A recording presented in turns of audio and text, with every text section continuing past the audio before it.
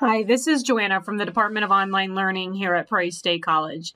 This is a short tutorial on how to view feedback on your Turnitin assignments.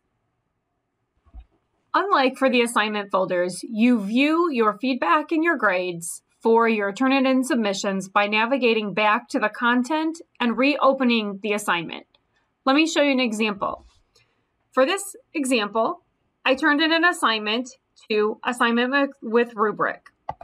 I'm going to go ahead and click on that. It will reopen my assignment.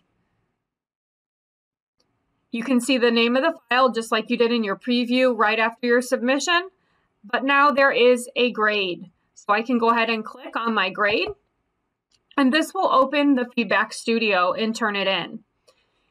Once you're in Feedback Studio, you'll be able to see your score.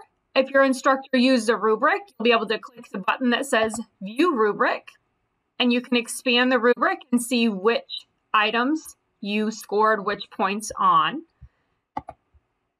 And you can also scroll through the text and see what kinds of in-text comments your instructor may have put on your paper. Over here on the sidebar, also you can see overall comments from your professor under this little text comment box. And that concludes our short tutorial on accessing your grades and feedback for your Turnitin assignments through D2L.